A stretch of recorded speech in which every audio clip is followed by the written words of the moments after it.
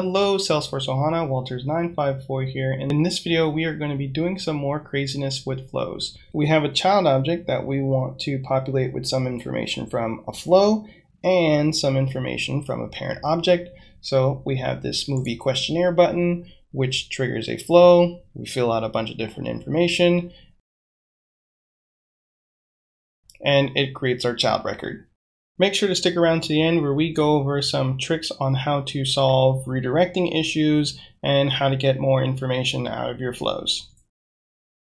Let's get started with just setting up everything about this project. So we have here a lead that we've added this child record to called questionnaire. And in this questionnaire, if we create one, it's going to have a bunch of different questions for us. And if you haven't guessed already, by the our lead's name, this questionnaire is going to have a bunch of different movie questions in it. So it's going to have maybe your favorite genre, uh, the last time you've been to the theater, your favorite director. Let's do QT. Hopefully you know what QT is. And if you're a Christian Bale fan.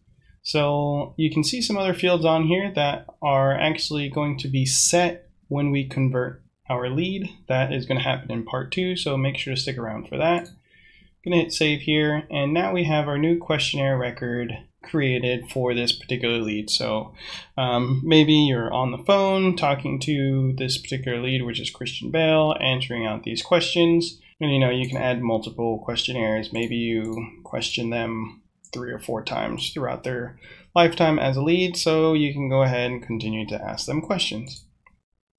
All the lead stuff is pretty standard. So let's actually jump into the flow to make this questionnaire a lot more presentable for our users.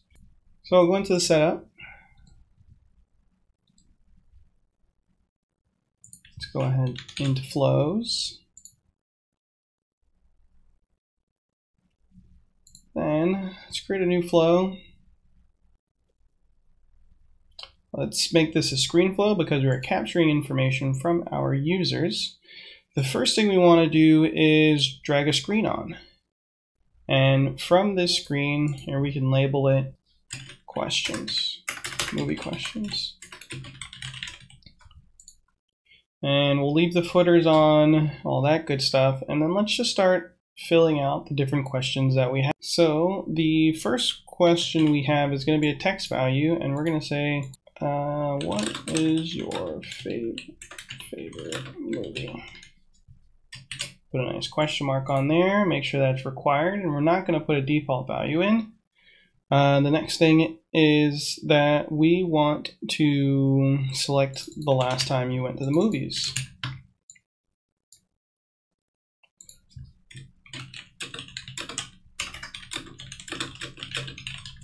And these questions are very pointed at the you, you know, because you're potentially on the phone with the person saying, um, you know, you're, you're talking to them, you're having a conversation as you're filling this out.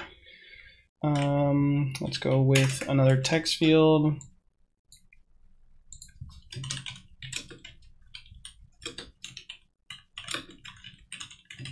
Who's your favorite director? Cool there. Let's do a checkbox.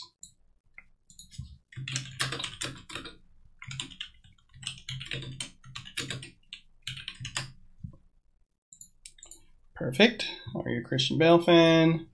The last one we on here is to select the genre. So the genre, your favorite genre is actually a pick list value. So we're gonna select pick list.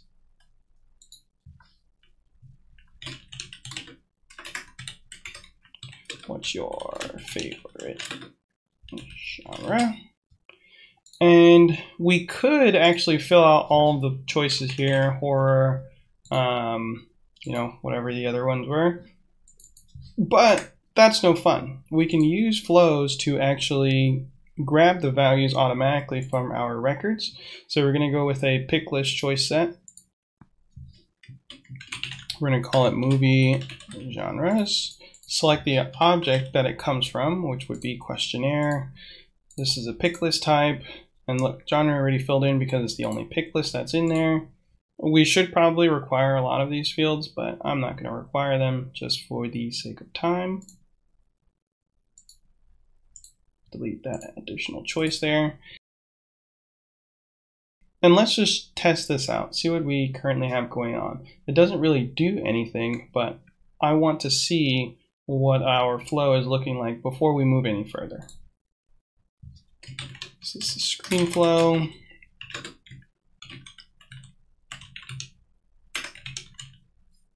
It's our questionnaire. So let's go ahead and hit debug. Run this. So what is your favorite movie? Last time you went to the movie theaters? Uh, I think it was last Friday. And then we'll put QT. We are a Christian Bale fan. And now we can see that these values have loaded in from our genre. Um, if you're curious about how this works, definitely check out the video that I'm going to link at the top, where I go over all the different ways you can link pick list values and record choice sets in pick lists and other really interesting uh, record choice selections. So we're going to hit finish there and we can see that uh, everything went through so far, so that is good. And let's close this out and actually start to create our um, questionnaire records from this. So we're going to actually go to a create record, and what we want to do is create a questionnaire. So let's create questionnaire. And we're going to use all the values from what we filled out to create our uh, related questionnaire. So instead of using a value from a record that was already created, like a record variable or something like that, since we don't have an existing record variable for a questionnaire, let's just go ahead and use these separate resources to create it. So I'm going to select our questionnaire object. Would you look here, we have all the different fields on our questionnaire. Let's go ahead and sync them up to the form that we just created. So you can see that I'm typing in Bale and are you a Bale fan pops up. Um, we have our favorite director. So favorite director. We have genre. We have last time we went to the theater. And let's also make sure to add in our favorite movie.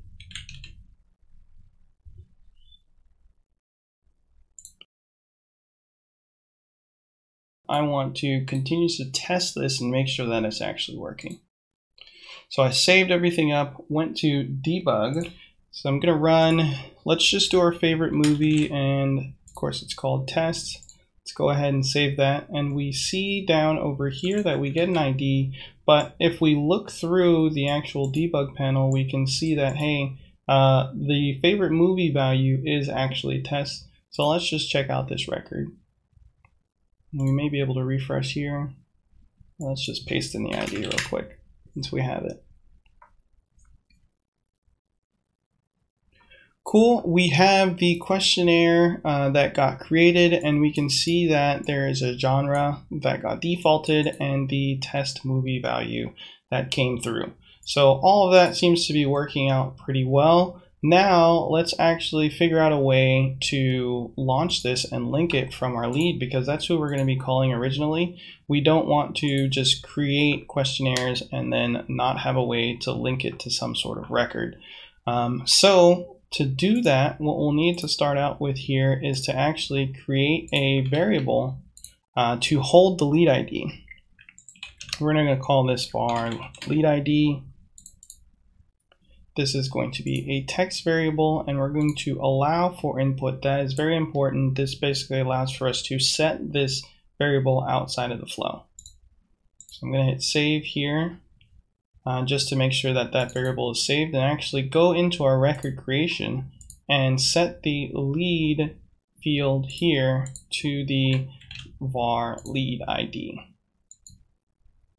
Once again, hitting save. And when we debug this, we will actually get a box at the front, which we did not have before of our lead ID, and we can pass in the lead ID itself, run this, and then here we can say Dark Knight, uh, last time we went to the movies, uh, and we're not a Christian Bale fan, let's change this to action. So hit save, we see that a bunch of other information is filled out here, but the most important thing is that this lead var ID has now been set to the lead ID. If we refresh our lead over here, we should see a new questionnaire has gotten created for that particular lead in the Dark Knight. So that, that all has worked out really well. So now uh, let's bring this all home by creating a button that will launch our flow, um, probably adding it over here so that whenever your users are actually talking or let's say a lead calls in, you can go onto their record and launch the screen flow very quickly, automatically putting in this ID, filling out the information from the questionnaire, and everything will flow from a process standpoint. Let's go back into the object manager, head over to lead, and what we're going to do is create a button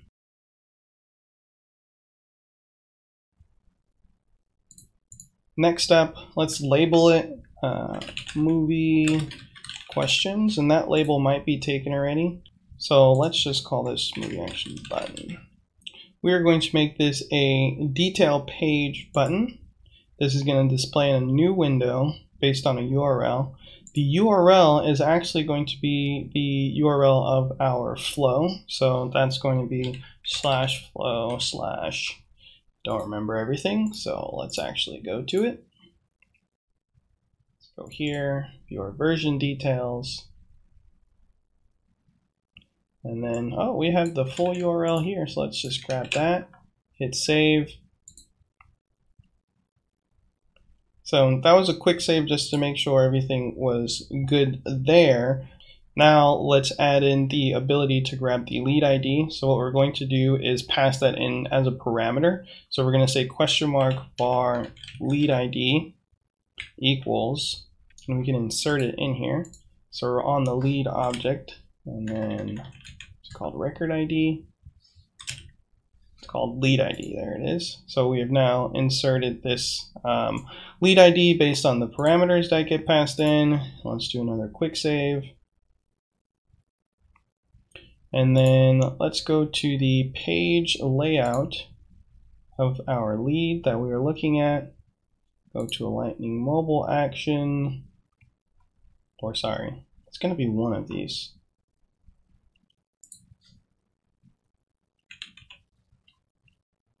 Oh, I named them the same, but if I'm hovering over, I can see which one it needs to go there. So we can see there in the name in the middle section there, it says movie questions button. Let's add that in at the end, or actually at the beginning so we can see it. Quick save there. So now if we refresh on our page here, we can see that there's this new movie questions button. If we click that, it brings us to our screen flow. Let's fill out our movies. Um, what is another Christian Bale movie? Memento. Last time we went to the movies was someday over here. Who directed? Christopher Nolan. Christopher Nolan. Uh, let's pick a different genre. And we can see that, hey, this has saved. It didn't bring us back anywhere, but if we go back to the lead itself, head over to Christian Bale, we can see that another questionnaire record was automatically linked to this particular lead without having to automatically set anything. Let's see if we can take care of that issue where we saved our flow, it created our lead, but it didn't take us back to where we wanted. So what we're going to do is actually update this URL in here with another parameter value. So whenever we are adding parameters, we use the at symbol and we're going to set the return URL. So that's actually shortened to ret URL equals, and let's start out by setting it to the original lead ID and see what happens with that. So hopefully when we save our flow, it will pass in this lead ID and then it will return us back to the original lead. So we've been working on Christian Bale for a while. Let's go to this Bertha Boxer. she calls in or we call her and we ask a bunch of questions. So our favorite movie is The Joker. Last time, let's skip over that. We haven't been to the movies. We can't remember. Um, favorite director. I don't know. It's the only person I can think of. And then like romance. And bada bing, bada boom, we have a new questionnaire created. It has returned us to the lead that we originally started with, and all the information there is logged. Thank you all so much for watching. If this video was helpful, please make sure to like and subscribe. This video came from a request from the Salesforce community. Don't hesitate to reach out to me and ask for help in understanding Salesforce concepts. Leave a comment down below on what you'd like to see next. And remember, I believe in you.